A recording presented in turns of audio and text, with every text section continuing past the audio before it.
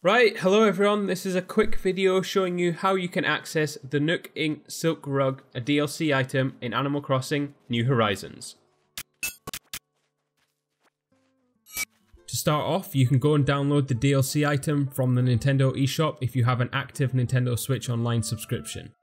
Navigate to the Nintendo Switch Online tab on the eShop and you should see a download for the Nook Inc. Silk Rug pack. This will just take a moment to download and then you can launch the game. Now to access the rug you will need to have made it far enough in the game to where you pay off your initial payment of 5000 Nook miles to Tom Nook and have access to the Nook Stop services. This shouldn't take you very long and if you've just started it will probably take you around 30 minutes to an hour from the start of the game to reach this point. I assume most of you watching will already have been playing the game and should be able to access this already.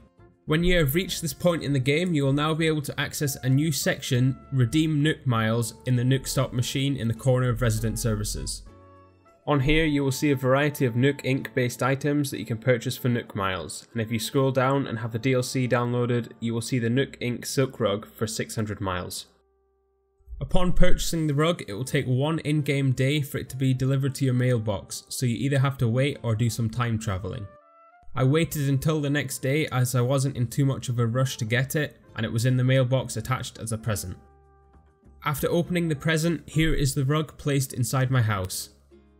The rug itself is actually a lot bigger than I expected it to be, and it looks pretty good in my house, especially when you have nothing like me.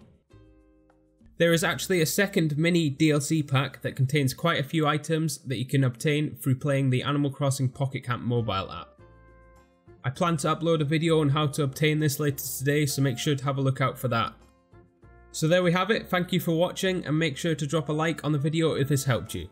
Make sure to subscribe because I will be uploading more Animal Crossing in the coming days. See you all next time.